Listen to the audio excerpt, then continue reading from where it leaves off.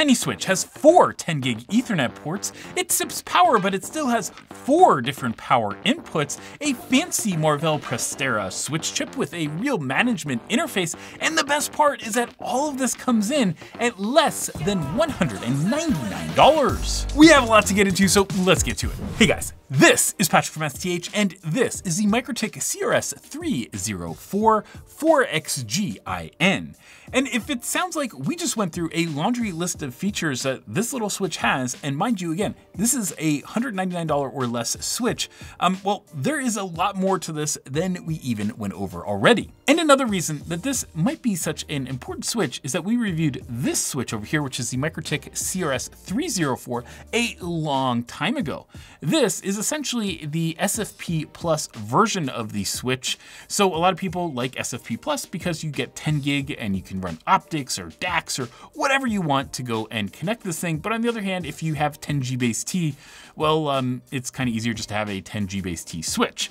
But the problem is that, well, this is inexpensive and low power. 10G base T tends to cost a little bit more because you need extra chips. We'll show you those inside.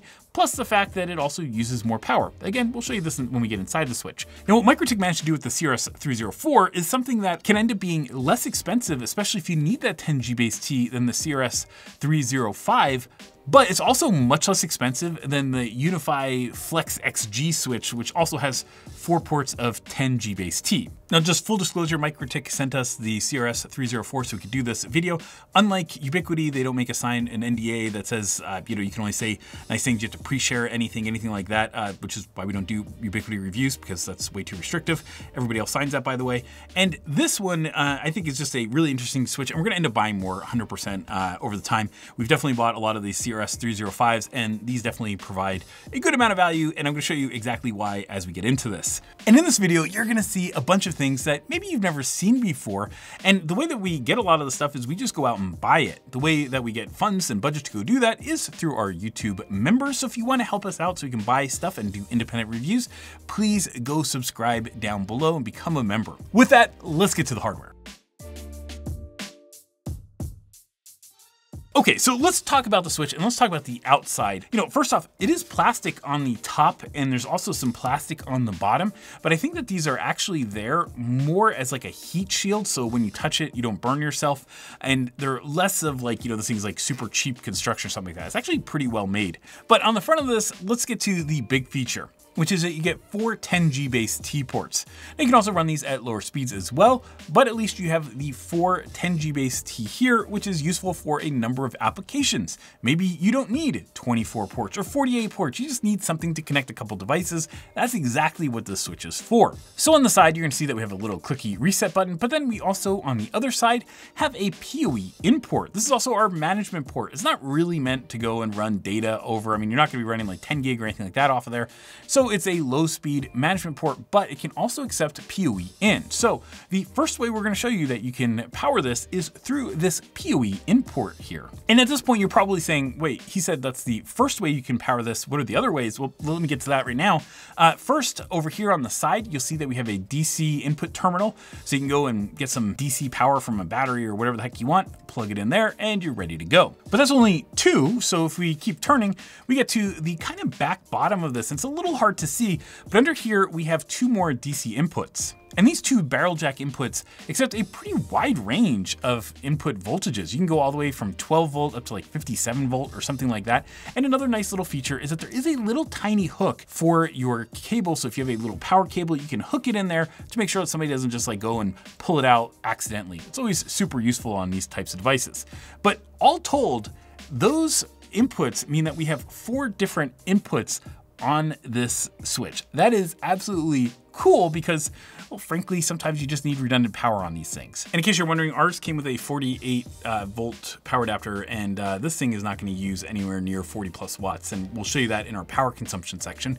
But it also means that you have at least one way out of the box to power it, plus three other different ways. And just in terms of mounting this thing, there's a DIN rail mounting kit that comes in the box, but then there's also uh, these kind of little screw points at the bottom, and then you have nice little rubber feet, so you can go put it on a table like this, and uh, you know, it just kind of stays put. And before we get inside, I just wanna show you that this is definitely a little bit bigger than the CRS 305. And most of that is just extra heatsink because this is a 10G based T-switch, right? So you do have a little bit higher power interfaces.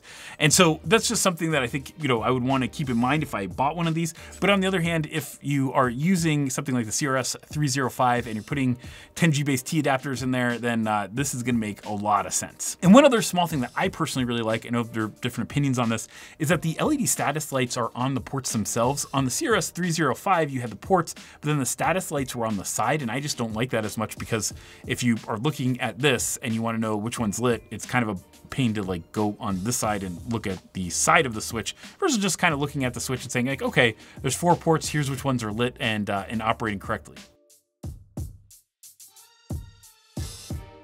Okay, now getting inside, you're really, the number one thing you do is you take off these little plastic bits which pop off pretty easily with like four screws. And then once you're inside, you see that there's just a lot of heatsink. But showing you this heatsink, there is one other really small but very useful feature here. If for whatever reason you lose the little manual that has the, you know, MAC addresses plus also the admin and the default password for the box, the other way you can look at it is you can actually look at it on the bottom. Now, this is not a very high contrast label that's on the bottom of the unit, but the other way that that you can find it if this label gets scratched, you lose the manual, all that kind of stuff. You can actually find the default password by opening this up and it's printed here on the ports. It's a little Easter egg that you wouldn't know if you didn't open this switch up, but there it is. Now, when you look at the top of the switch, the first thing you might think is that that big heatsink in the middle is for the switch chip, and you'd be kind of right, maybe? When we pulled off the heatsink, there wasn't a switch chip, there wasn't a PHY, there wasn't any big chip underneath. Instead, there was a pad that made contact with the kind of center of the switchboard, and so that tells us that we have something that's pretty darn warm on the other side. Now, the underside heatsink is much larger. Essentially, it takes up the vast majority of the chassis from front to back. And when we take it off, you can see that there's this little molded bit, and then and there's a big pad, and underneath that pad is where we're gonna see our two main chips. Now, the first chip is the Marvell 98DX, and this one is the Marvell Prestera chip, and this is just a nice little switch chip for a low power switch like this. It also allows you to have a dual core ARM management processor and all the stuff that you need to go and run that management interface for MikroTik on the switch. But one of the big challenges whenever you have 10G base T is the PHYs. And if you wanna know why switches that are 10G base T use a lot more power and also uh, cost a lot more is just because of the physical interfaces. One of the challenges by using copper wire instead of optics is that as you go over a longer distance, say 100 meters or something like that, is that you have to do a lot more filtering of the signal to get all the noise out and be able to figure out what the heck kind of data is being transmitted on those wires. And that's why you tend to have very high power PHYs and stuff just to be able to push the signal and not get a totally dirty, just junk signal on the other end. And here we have another Marvell chip, which is an 88X3540 BXE4. And that's a four port 10G based T PHY. So some of the switches that you see will have like individual PHYs for each port, but on this one you have a nice four port and that's part of their Alaska series, I think. If you don't know about this, we've been reviewing systems with the Marvell Alaska series PHYs for uh, since at least 2013, I think. And even back then, they were like one gig four port PHYs that were used instead of the Intel PHYs built into like Atom C2000 chips. So there are uh, just, you know, this is just a well-known PHY brand in the industry and they've been around for forever doing this. And uh, at the same time, it uses a lot of power, which is why you see a lot of the heatsink and really the thermal management is designed to cool this PHY. And I don't remember this off the top of my head, but I think that Ubiquiti is also using a pretty similar switch uh, or set of switch chips. They're not the exact same, but uh, correct me, of course, if I'm wrong. But it's also a lot less expensive. Now, of course, the hardware is part of it, but we also want to know about management, the performance, power consumption, noise, and all that kind of good stuff. Plus, what can you even make with this? So let's keep going. Okay, so let's talk about the performance. Now, if you're just gonna do simple layer two like switching or something like that, then this can perform decently well. That's often what we test, and you can see that we got results pretty similar to what MikroTik got. Now, on the flip side, when you start doing things like bridging and routing, and you start adding more layer three features in, you're gonna start to see the performance drop really, really fast. So you're gonna start seeing like things like, you know, two gigabits per second or so. And so, you know, the big thing here is just that this has a ton of features because you have the MikroTik management interface, On the flip side, the overall performance is kind of limited by the fact that you have a very low power switch chip in here. And so what I would say about this is just remember that this is designed for low power and really just connecting devices over like a layer two network, just getting them to be able to talk to one another. It's not necessarily for like being a core switch that's gonna go give you like full 10 gig performance of like, you know, firewalls or like whatever across all of the ports. It's definitely not that kind of switch. It's more of just you wanna plug stuff in and you want it to go fast. That's what this is for. With that, let's get to the other set so we can talk about the power consumption. Now, let's talk really quickly about management, power consumption, noise, all that kind of great stuff, and also what can you do with these? So let me just kind of show you what we have here. We have a MikroTik CRS 304 here. We also have one back here on the power meter. So one thing I want to talk about is management. This has MikroTik's standard management interface. Now you're going to see that we have the new Winbox version here, which is a desktop application that you can use to go and manage things with a GUI and it makes life really easy. There's also a web management interface that largely mirrors the functionality here. And then if you really want to be a power user, you have a CLI that you can use to go and manage these switches. Now, of course, on switches like these, I think most folks are just going to use the web management or Winbox interfaces because, you know, like this is a four port switch. There are a lot of people that just need 10 gig ethernet and they just need it inexpensively and easily. And I think that's really what that, you know, this whole management interface is for.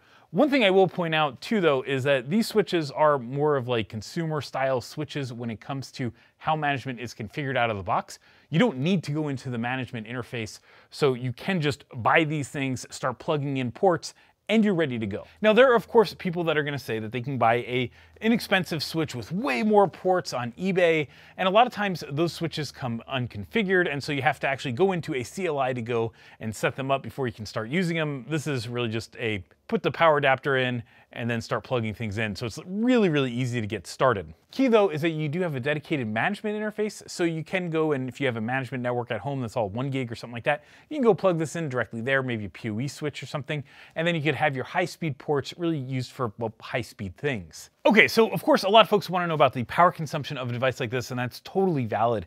Something that you'll see is that when we don't have anything plugged into this, we'll get somewhere in that maybe seven and a half-ish watt range at idle. When we plug in just the management port, you may go to about 7.7, 7.8 watts, somewhere in that range.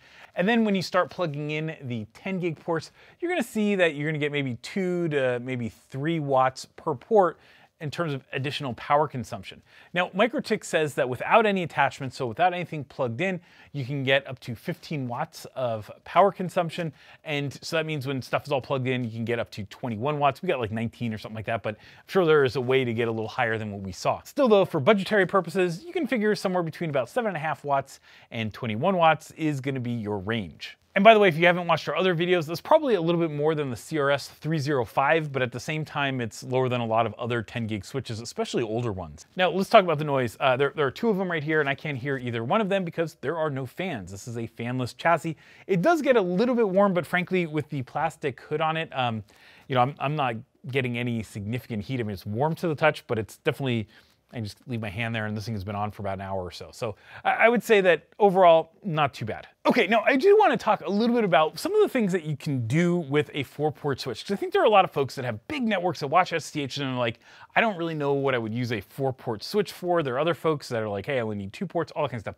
Okay, so first off, if you only need like two ports of 10 gig, we have a bunch of two and a half gig switches with two 10 gig ports. You can see those on our two and a half gig switch guide. So definitely go check those out. But I set up something uh, over here that I thought would just kind of be interesting for folks, right? And really what this is, let me just kind of go through some of the things because some of you've seen on STH, some of you maybe haven't yet. So first thing, we have the uh, TerraMaster F8 Plus NAS. So this is an all flash NAS, very, very quiet so we can have it on set and it's not super loud. The other thing that we have in terms of network storage is this little Blackmagic design box right here. This little box is called the Cloud Pod, and it's pretty cool. It has two USB-C interfaces that you can do things like plug in these little USB SSDs, and then you just put a 10 gig network port here, and you can access these directly over the network. So it doesn't have as many features as a traditional NAS. On the other hand, it's low cost and super easy to set up. In case you're wondering what's the use case for that, uh, I'll give you a really good example Alex, who's editing this video, he probably has a flashback to when we did the XAI Colossus tour. And uh, I literally got done with the tour. I dumped all of the data from all of the folks that were filming and recording stuff on site. And I put it onto a little uh, Samsung, I think T7 Shield SSD, one of these little ruggedized ones, stuck it into a FedEx envelope and sent it to him overnight. And so the advantage of that is you can literally just go and take one of these drives, have all your footage and stuff that you collect on the road, hook it up, and then you're gonna see that it's ready to go. It's connected to this, and now it's on the network. And so for a lot of folks, I think like Sony can do this and a couple other cameras, uh, you can record right onto the SSDs. And if you do that, this is a really easy way to go on-ramp footage onto a network, right? You have your traditional NAS, you maybe have a workstation like the Mac Mini that's over there. And then another fourth one might be this, which is the iKoolCore R2 Max, which has two two and a half gig ports. It also has two 10 gig ports. We're gonna be doing a review of this one pretty soon, but uh, if you've seen our little iKoolCore R2, which I think is over there, uh, review, and you wanted something that has 10 gig networking, which is a big feature request, uh, this is it. And so with the two two and a half gig connections and two 10 gig connections, one of them going into one of these switches, you can have all the stuff that you need. You can have your Wi-Fi networks, you can have your WAN, all that kind of stuff all in one little box. And so for someone that's maybe a solo shooter, a photographer, small video productions, a little switch like this means that you're taking what used to be on a single machine. You'd have to go connect everything up to your Mac or your Windows PC or something like that. And you can now put it all on the network because you have 10 gig in all the devices and a cheap switch like this. And sorry, I should say low cost switch because it's definitely not the cheapest switch out there, but on the other hand, it's very low cost, especially for all that you're getting in this. With that, I think it's time to get to key lessons learned.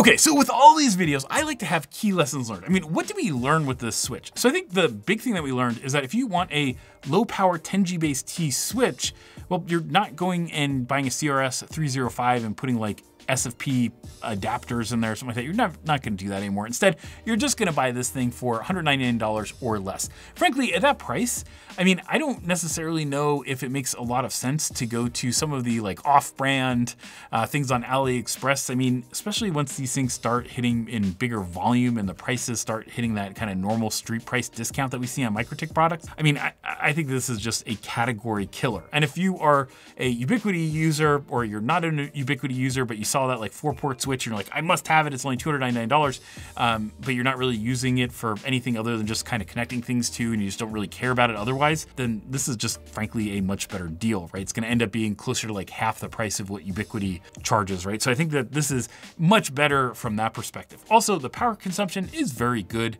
I wouldn't say that this uses a ton of power by any means. It's also a silent switch. There are tons of different ways to power this. It has a management interface if you do need that. And overall, when we did the review of the CRS 305, I remember just saying like, you know, this is the kind of switch that you put in your backpack and you just kind of have because every once in a while you just need to connect a couple things and just kind of get that working. And then what ends up happening, of course, is that this just kind of sits there and it gets continually used over a period of time. So you just end up buying more of these because they're like 125 bucks or something like that, right? And I think this is gonna end up being the 10G base T equivalent where, you know, you're gonna have this because you can do lower speed networking, you can do 10G base T networking on it. It's super, you know, low power. It's relatively light. And it's one of these like really good things to have in your backpack if you need it. But also if you have a small network where you have like a workstation, maybe a Mac Mini, Mac Studio, something like that, and you also have a NAS and a couple of other devices, then this has all the extra 10 G base T connectivity that you need. And so I actually think this is a great switch for that. Hey guys, I hope you like this look at the MikroTik CRS 304. If you did like it, well, why don't you go share it with your friends and coworkers, but also tell me what you think down below. And while you're at it, why don't you give this video a like, click subscribe, and turn on those notifications so you can see whenever we come out with great new videos. As always, thanks for watching. Have an awesome day.